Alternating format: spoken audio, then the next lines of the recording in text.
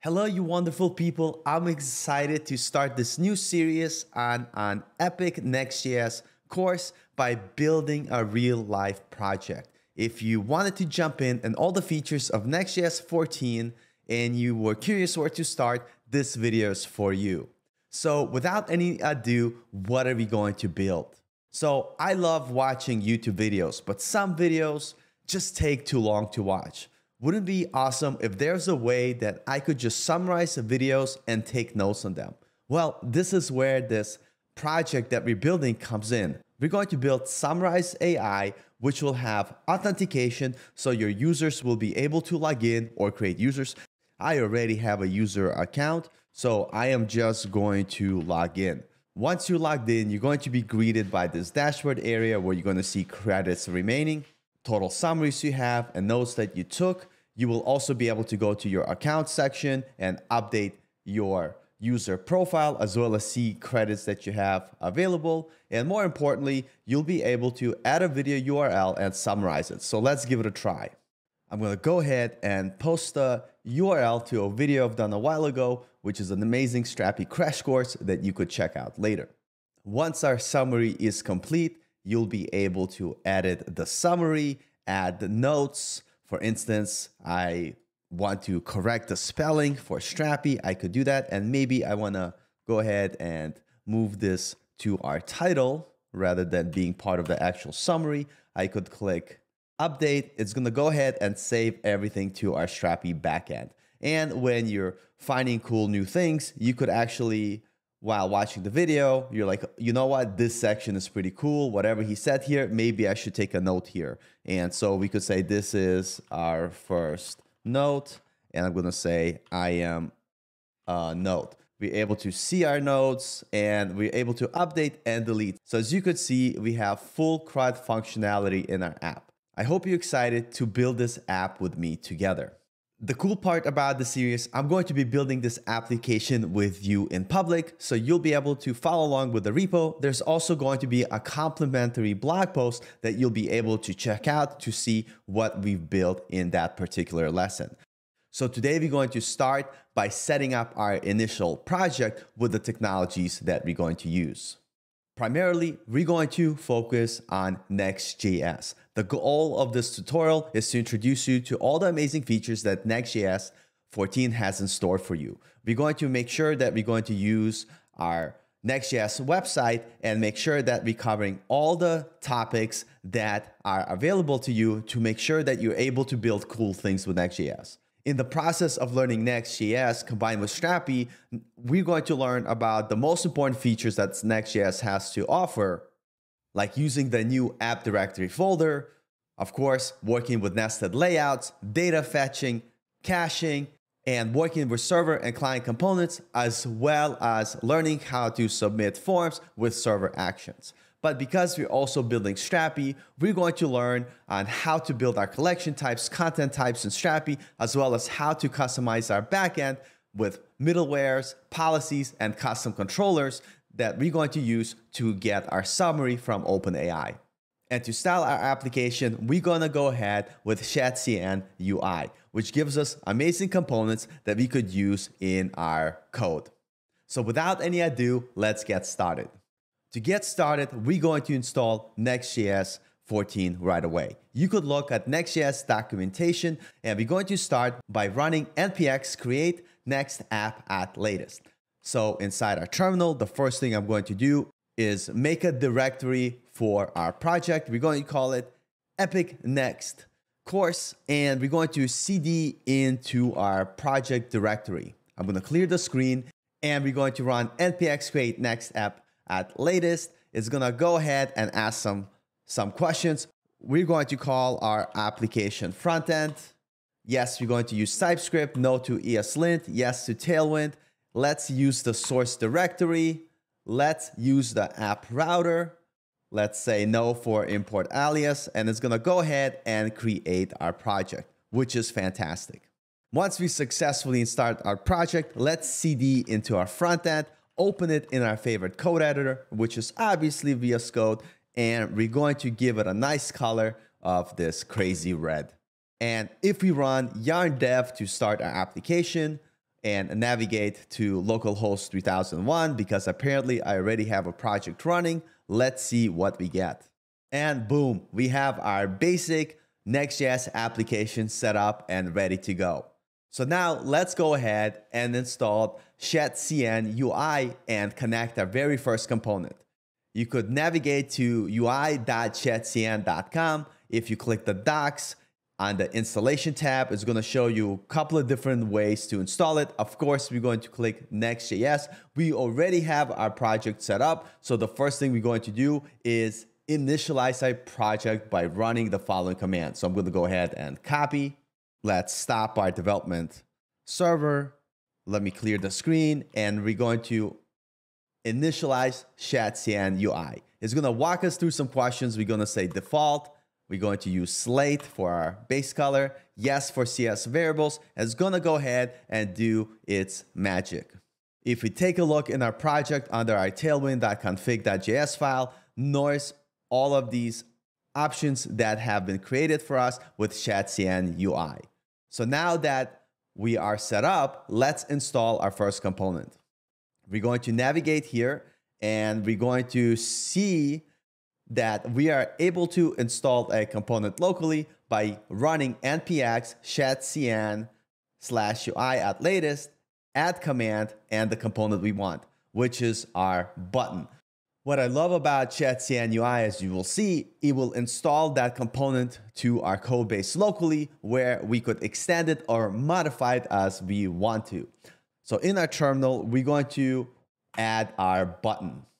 Once this is all set, inside our code base, we could navigate to our source folder and we're going to have our components. And notice how now we have a new UI folder. And if we look, take a look, we could see all of our button code that has been installed. So now let's go ahead and use our button. We're going to navigate to our app folders, our page, and we're going to replace the following code with our button here. So I'm going to go ahead and delete all of this code in main I'm going to remove this image import. And first, I'm going to import our button. And it's going to come from at components UI button. And I'm just going to add it here. So here we are, we're using our ShadCN button. Let's see if it works. I'm going to restart our project by running yarn dev. Let's refresh. And boom, we have our new cool button and we know ShadCN UI has been installed correctly. So now let's go ahead and install our backend with Strapi. To install Strapi, you could go ahead to strapi.io and copy this command, npx create strapi app at latest. You could also click on get started button, which will take you to our documentation.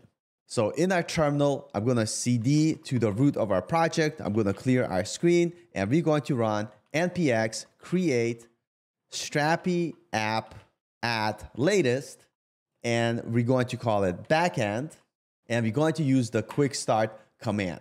This will go ahead and set up Strapi for us. Once Strapi has successfully installed, you'll be greeted by this registration page. Go ahead and create your first admin user. So let's say paul.bratslavsky at strapi.io and secure password, which is obviously monk234. And once you create your first user admin, you're going to be greeted with the Strapi dashboard. Throughout this tutorial, we cover all the different sections of our Strapi application.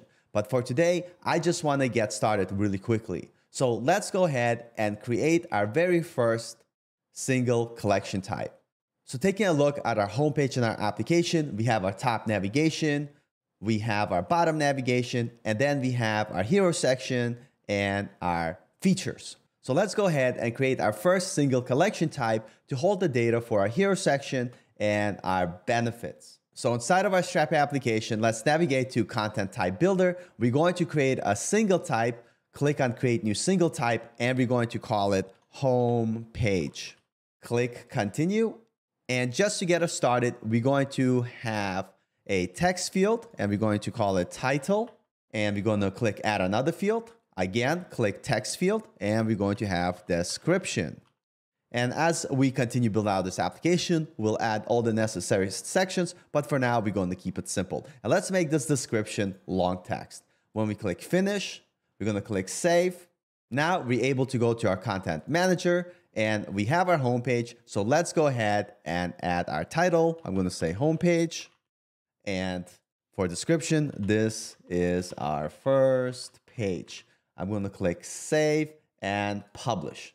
Now what we wanna do is to give access to our Strapi endpoint to allow us to get this data through our API access. So I'm going to go to settings. Since this is going to be open to the public under users permissions plugin, click roles, click on public. And for homepage, we are going to go ahead and enable this find checkbox. And this is the endpoint to which we'll be able to make our get request. So I'm going to go ahead and save and let's test our API in Insomnia.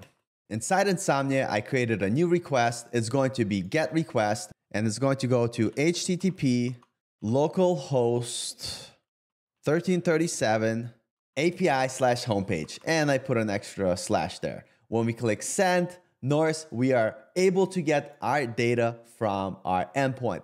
Fantastic. So now let's go ahead how we could fetch our data in our Next.js application.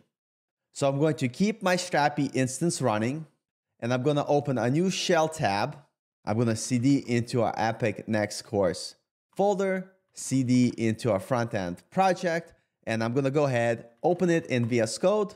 And now what we're going to do, we're going to navigate to our source app, our page.tsx file where we added this button. What's awesome because we're using Next.js and we have ability to use React Server components, we are actually able to make this async and call a function within our component to get our data. So let's go ahead and do that. We're going to create a simple function called get strapi data where we're going to make a request to our strapi endpoint. We're going to use fetch and we're going to call the base URL and then append our, and we could maybe call this path that probably makes more sense. And so we're going to say path here and we're going to append the path to the data that we want to get. Now here inside our home function, we are able to call this component. So let's go ahead and console log our Strapi data. So let's make sure that our front end is running by running yarn dev. Let's navigate to our localhost 3000. We are still gonna see our cool button, but you will also see that we're getting our console log and you could see the data that we're getting. By the way, if you're wondering how am I able to get console logs in my console, it's because inside my VS Code, I have an extension called Console Ninja. And if you want similar functionality, you could do that as well. You will also be able to see this console log in our terminal. And here's the data that we're getting because this is running on the server. So finally, let's consume this data and render it in our application. I'm going to go ahead and destructure our title and description from our data and I'm gonna remove this console log. So, so it's not distracting. And inside our main, we're just going to add a simple H1 and a P tag. And we're going to display our title and description. So notice back in our application, we now see our homepage and this is our first page. Fantastic. Wow, this is awesome. To summarize, we jump started our project. We have our root folder called Epic Next Course. If we take a look inside, we now have our backend and our front end. Our backend is powered by Strapi, our front end is powered by Next.js, and most importantly, today we saw how we are able to connect our application and get our initial data. I know we're just starting out, so there's still a lot of work left to do, but that's exactly what we're going to do in the next video. So tune in next week for next video where we're going to show you how to build out your homepage including the top navigation and the footer. But with that being said, thank you so much for joining us. Follow us on our YouTube channel. And did you know that every Monday through Friday, either 6 a.m. CST time or 12:30 p.m. CST time, we have Strapi open office hours, which is a great place for you to join and ask your Strapi questions. But anyway, for today, I want to bid you farewell and I'll see you in the next one.